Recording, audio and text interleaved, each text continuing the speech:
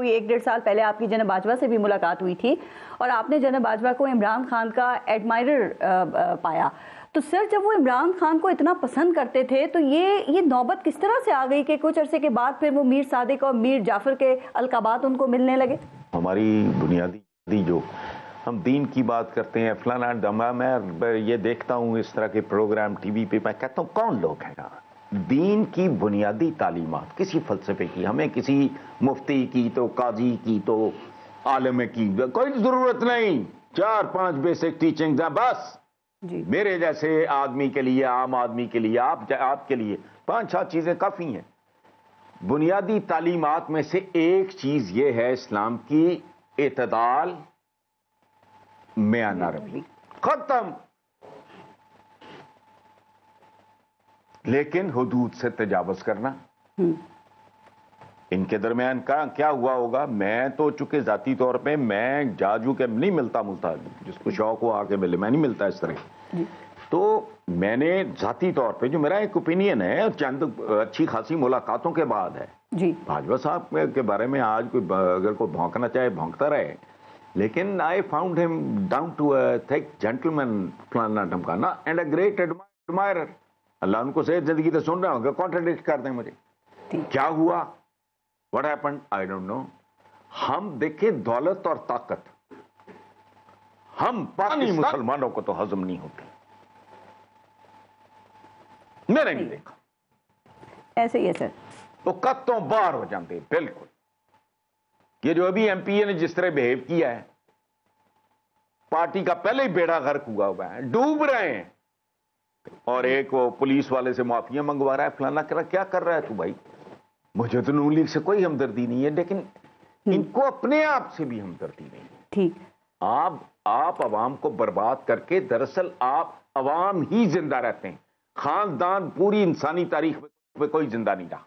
फिर से लेके ये जो अपने एबसाइड्स हैं ओमयार्ड्स हैं सब चीज़ है खानदान। अवाम बड़ी ढीठ चीज़ है। कभी गौर करना जबकि इंसानों की तारीख मौजूद है अवाम खत्म नहीं हुए इतने ढीठ हैं। ये होते हैं खानदान आते जाते रहते हैं। तो जिस मुल्क की ये शराफिया ने या बदमाशिया ने अपने अवाम को बर्बाद किया समझो वो माइल बखुदकुशी है एक तब्दीली आई है ओवर अ पीरियड जी। कि अब ये अपना मुल्क लूट के बाकी सारा कुछ बाहर ले जाते हैं। लेकिन बाहर भी अंजाम इनका यही होगा क्योंकि बाहर की तारीख भी ऐसी है। आज मुझे बताओ फोर्ड का कभी ज़िक्र सुना है? ओनासिस का सुना है कभी? They were one of the richest people of this world किधर है? आज फोर्ड फैमिली होगी कहीं? जी। खाते पीते लोगों को फिनिश्ड लेकिन नहीं ये बहुत बद किरदार लोग हैं। ये तो अवाम को इस तरह भी नहीं रखते जि, जिस तरह जिम्मेदार आदमी जिम्मेदार ना भी हो। हम्म। मुझे अगर कबूतर रखने का शौक है मुर्गियाँ पालने का शौक है कूंजे रखने का मोर रखने का घोड़े जो भी। तो मैं तो उनको बच्चों की तरह उनकी देखभाल करूँगा और ये मैं मुहावरतन नहीं कह रहा। मेरा जितना कुछ छोटा मोटा सा हल्का या बाब है वो सब जानते हैं। सर ये तो, तो नहीं को एक आटे की बोरी के पीछे उसकी इज्जतें इस्तेसाल कर रहे हैं। उसकी कुर्बानी उनको देनी पड़ती है। सर सियासतदानों में जरा एक बात बताइएगा। इमरान खान का मुस्तक मुस्तकबिल आप क्या देख रहे हैं? चूँकि मुखालफी उनके कह रहे थे कि भाई ये तो एक हफ़्ता जेल में नहीं काट सकता टिक सकता लेकिन आज सात माह गुजर गए जेल गुजार भी ली है गुजार रहे हैं बीमार होकर हॉस्पिटल भी नहीं गए प्लेटिलेट्स भी उनके नहीं गिरे हैं। हसन सर साहब कब तक आपके ख्याल में वो ये रेजिस्ट कर सकेंगे इस सब चीज़ों को? खून के आखिरी कतरे तक लड़ वो ये जानते नहीं थे उसको या ये झूठ बोल रहे थे? जी। दो ही चीज़ें हो सकती मैं उसको बहुत ज़्यादा नहीं जानता लेकिन मुझसे पूछ लेते मैं बता देता नो no! बंदों का मिजाज होता है और उनका मिजाज ही उनका मुकद्दर बनता है। वो नहीं वो मटीरियल नहीं है। प्लेटला देख मुँह लटक गया टिड निकल गया फलाना हो गया नो वो मुझे मुझे मैं वैसे एक सादा बात बात समझाने के लिए कर रहा हूँ वैसे कि मुझे एक पॉलिटिशियन बताओ।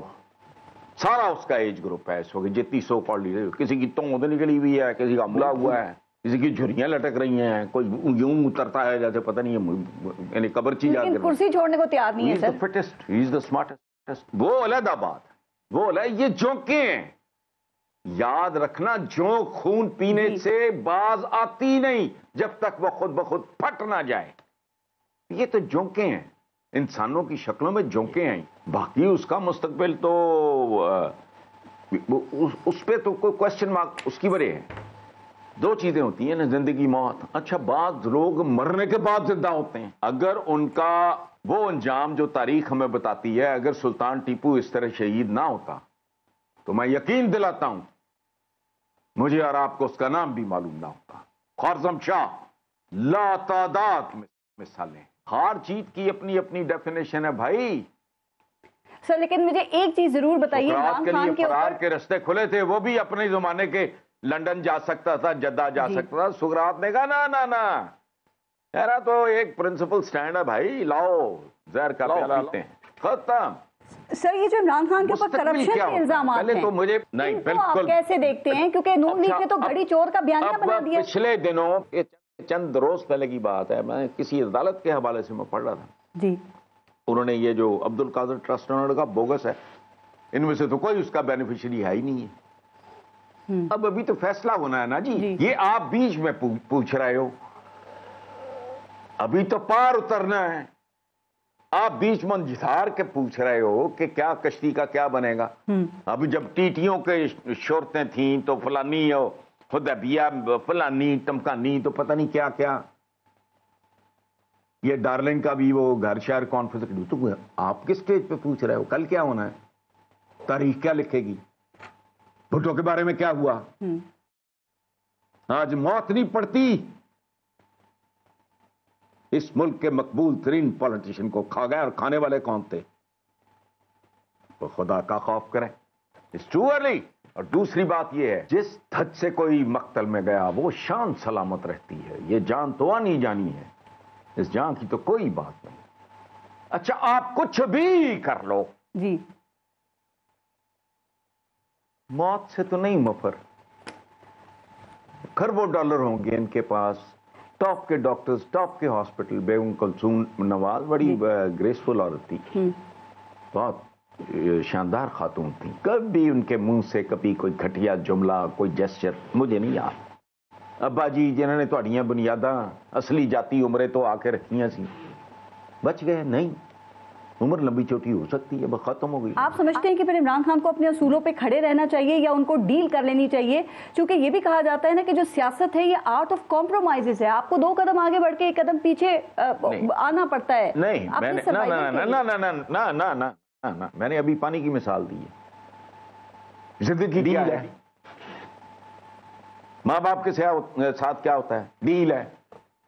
इंसान और उसके रब और उसके खालिक के दरमियान क्या है? डील है। ये डील नहीं तो क्या है? कि मेरे अमाल अच्छे होंगे, मेरा किरदार अच्छा होगा तो मैं बख्शा जाऊँगा और उधर चला जाऊँगा। नहीं होगा तो क्या है? डील क्या होती है? ये डील की किस्में होती हैं। और अगर आप देखो, डील कर लेता अगर सुल्तान टीपू तो सुल्तान टीपू ना होता बीबी। तो कोटार्जन तो नहीं सी और उसने एक हद तक डील की। यह आपको पता है जब यह जंग शुरू हुई है जी। उसके बेटे यरगमाल थे गोरे के पास। तो डील डील किसको कहते हैं?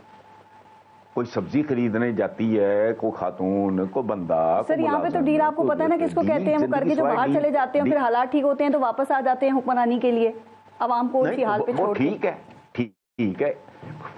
फ़र्क है ये ताजर हैं ये दुकानदार टाइप लोग हैं सारी तारीख इनकी सामने पड़ी है। ये अपना अपना टाइप है। मैंने क्या कहा?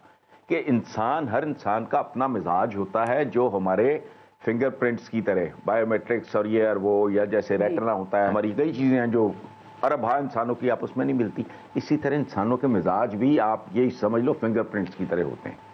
ठीक। ये कारोबारी धंधे के लोग थे रोकड़ा शोकड़ा माल ये वो सारा इनके लिए उसके लिए डील पता नहीं क्या है। डील तो अल्टीमेटली होनी होती है। वो जो जो तख्तादार तक पहुँचा जुल्फकार अली भुट्टो तो वो भी डील थी। ज़िंदगी तो है ही डील। माँ बाप से लेके अपने खालक से लेके यार माँ बाप तक बहन भाइयों के तो एक डील। इसको बहुत डेप्थ में जाके अगर आप देखो तो डील तो बुरी चीज़ नहीं लेकिन कैसे? वो जो आपने कहा ना कि सियासत में ये वो होता होता है लेकिन उसमें भी लिमिट्स है ना। जी। इमाम अली मकाम ने नहीं किया।